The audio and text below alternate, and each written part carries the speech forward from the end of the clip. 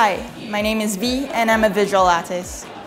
For tonight's showcase, I will be showcasing a live installation titled Once Upon a Time, where I take the entire idea of a little house inside a forest and flip it inside out. So in this case, you have a little forest inside a building, which is in the middle of the big city.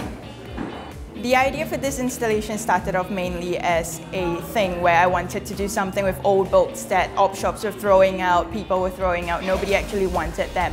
And in the beginning, I just made paper flowers out of them and slowly I decided to make it something bigger and it eventually turned out into a little forest in a building. And um, the main part of the installation is actually my life model who is wearing a dress that is made of seven and a half books worth of flowers and leaves. I guess one of the things that make my installation different from most of the other stuff that you usually see showcased at Raw the visual arts is that I want my audience to actually participate in the installation. This is a live installation, it's not a stagnant piece.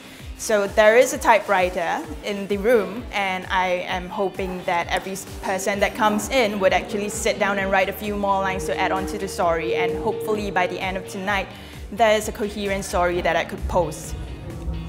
My hopes is that in five years' time, I would be known for creating a lot of interactive works that push boundaries and take people out of their comfort zones and create new areas where people could actually install more works versus having fixed categories like visual arts or hair and makeup. Maybe there could be something that combines everything. Something more like a random artist versus a fixed category artist. People can view more of my work on my Instagram account, which is Raven Blackhart, or on my website, which is blackhart.info.